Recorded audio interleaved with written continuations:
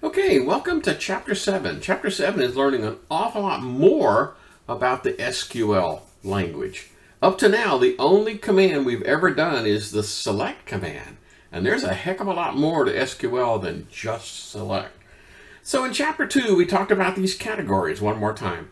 Um, I typically only talk about three of them. I talk about the the data manipulation language, is, which is what we've been using so far. The select command is a DML command, and that's for dealing with rows of data.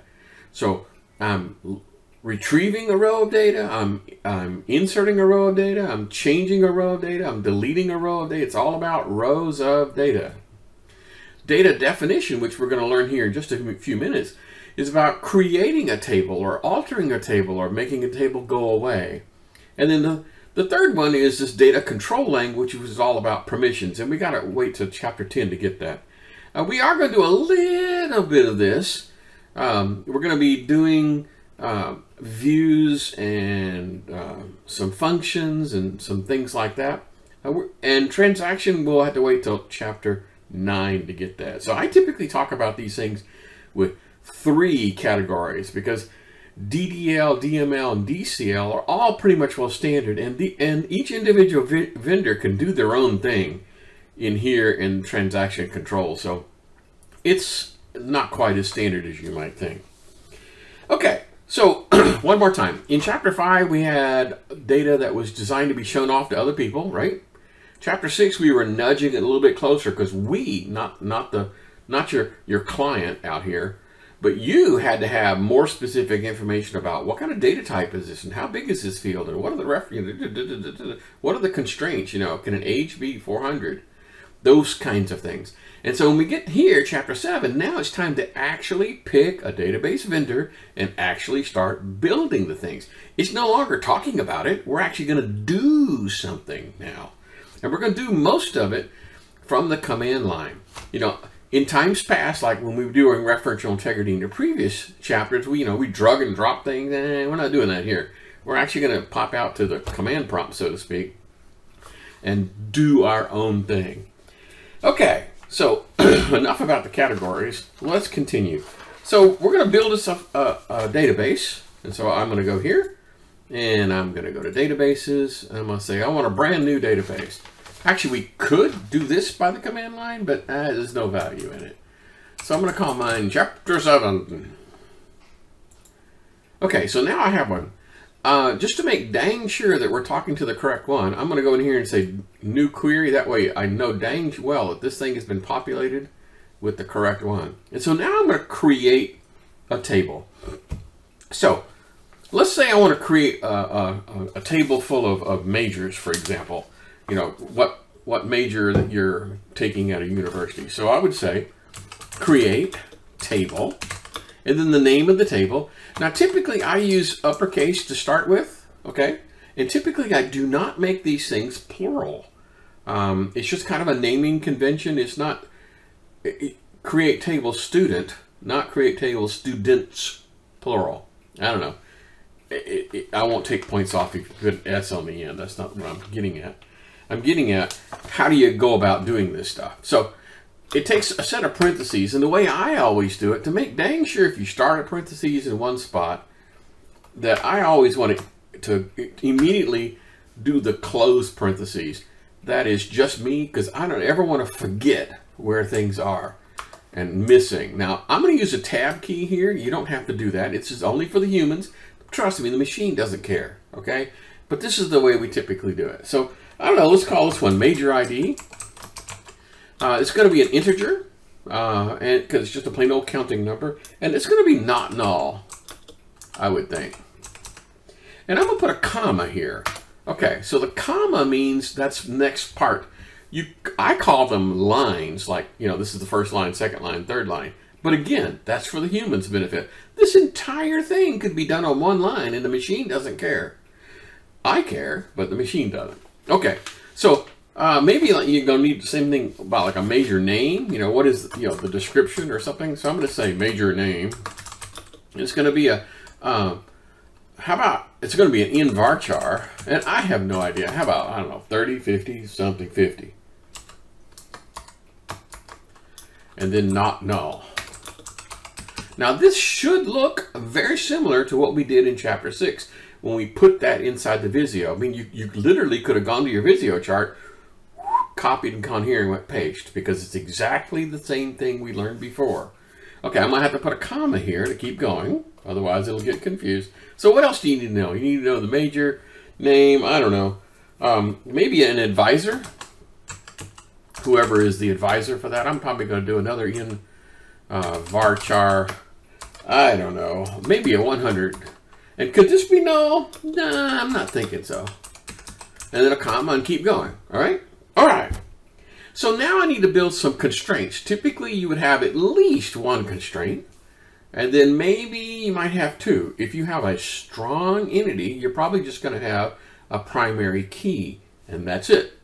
If you have a, another type, a weak entity, then you may actually have a primary key and a foreign key. So I'm going to build the constraints here. And so it's done with the word constraint. Constraint. Oh, I got to spell right constraint and then you have to give it a name and I usually call I have a kind of a naming convention something like it like the name of the table and then like PK for primary key FK for foreign key UQ for unique things like that it's just a naming convention it's not required I'm just saying that's the way I do it and then you need to tell what type of constraint well we're going to be doing what's called a primary key two words okay and then in parentheses here, you tell it which column is part of the primary key. Remember, if you have a compound primary key, you'd put two items in there separated by a comma, right? But in this case, I only have the one like that. okay, so that is a fully formed, um, what, a D, wait a minute now, is this, this is a DDL command, right? Data definition. So I'm creating a table. Okay, so let's just go through it one more time.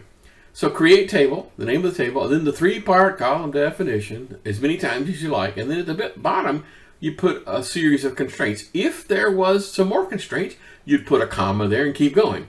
Obviously, I don't need a comma at the end, but the comma separates the lines. Okay, cool. So I'm going to go here and execute this, this query. And don't it worked. Yay, cool. So let me go here it is. I'm to go to tables and ta-da, I have a major table, yay! Okay, so let's talk about what kinds of, of things, remember we talked about constraints. A column constraint is in the column. In other words, null and not null. I mean, there's others. I mean, you could say a default is a constraint, although technically it is, but that's a that's a stretch from the English language calling a, a default a constraint. And then there's a table constraint which uses the explicit constraint keyword. Okay, so when you turn in a homework assignment and I want you to be using the explicit constraint keyword when creating the primary keys. Okay, nod your head like you heard me say that. Okay, good. All right. so table constraints are typically going to be primary key, foreign key, or unique. Um, then each con each constraint has a name because we have to talk to it, okay? We have to, I, I, might go in here and alter this or drop this guy. So it has to have a name, otherwise I won't tell what we're talking about. And then the column or data constraints. This would be like a null or not null. And then later on, we're going to have a thing called a, a check constraint. And, you know, a check constraint is one of those things where, you know, this could be a, Um, a domain issue or range issue. Remember all that stuff? Good. Okay. Now, the constraint here on the line that I have highlighted, that's the one that creates the primary key. Okay, good. So let's create a student table. I'm going to keep going here just to make it a little easier to see them all at the same time. So create table, student, singular, not plural. And then once again, I'm going to do this thing so I can't possibly screw up and and uh, forget to put a, a, a, parentheses in there. And this is going to be a little more complicated. All right, here we go. And then I'm going to go in here and I'm going to say student ID. And it's going to be an integer. And it's going to be not null. And this time I'm going to, no comma here. This time I'm going to say that it's the using the identity keyword. This is the thing that uh, Microsoft SQL uses. Identity keyword means this is an auto number. An auto number means start at one, that the little things in parentheses, start at one and increment by one. So the first one will be one, second one will be two, kind of makes sense. Okay, one more time. The identity keyword is to, is to indicate this is an auto number. It does not indicate that this is the primary key. And you should really only use these things when you really don't want to assign a number. Uh, assigning a number to a major just kind of sort of makes sense to me because there's not going to be that many of them. But when there's going to be thousands of students, I don't want to have to generate a number every single time because the numbers are meaningless. So anyway, that's the way that's done. So, okay, we need first name, right? And that's going to be an nvarchar, right? We learned all this good stuff. How about 50 for all these guys? And I'm going to say not null, comma. And then last name nvarchar 50. Not null. I'm going to skip over a bunch of stuff. But um, no, I'm not. I'm going to keep going. So then what major are they taking? So the major is going to, I'm going to go ahead and say major ID is an integer. And um, is it okay for them to not have a major? Could you leave that blank? Yeah. Say that. Okay. And then I'm going to go in here and do a uh, one of those multi-column issues. I'm going to do a phone one, phone two, phone two. Three. So this is the nvarchar. I don't know. What's the right? It's 15, I believe. It clearly, this could be null. And phone two nvarchar 15 null and phone 3 nvarchar uh, 15 that's enough. Just three of them are fine. Okay so I've got student ID which is an auto number first name last name the major ID which clearly is going to point back to that guy. So what is the primary constraint? I mean primary key? Well I need to do this constraint and I'm gonna call mine student PK kind of makes sense. And I'm going to say primary key and it's going to be the student ID. And then comma, because I'm not done yet. I'm going to do another constraint. And I'm going to call this, when it's a foreign key, it kind of sort of makes sense to use both table names in there at the same time. Like student major FK. Okay, you know, again, you don't have to do that. It's just the way I do it, to maintain my sanity. Okay, so this is going to be a foreign key. Okay, and this time it's slightly different, the way the foreign key works. Whenever you build a foreign key, like I need to tell what key on my side references another key on the other side. Okay, so on this side, I do it in parentheses, and it's going to be major ID. And then I use this word called references. This is kind of sort of like the reference, like a, a join command. So references, I need to tell it both the table and the column. And so the way you do that is kind of weird. Um, you do the table name, and then in parentheses, what the column is.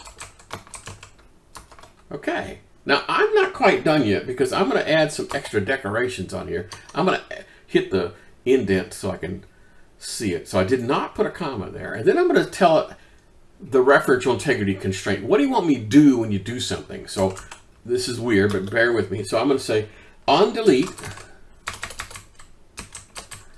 and I'm going to say no action. No comma here, just keep going. On update, no action.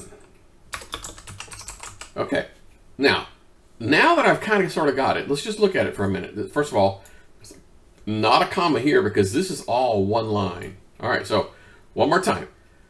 The student constraint, you know, for creating a primary key, pretty straightforward. The, the foreign key constraint, I basically tell it the key on my side and then the, the pair of table name and column.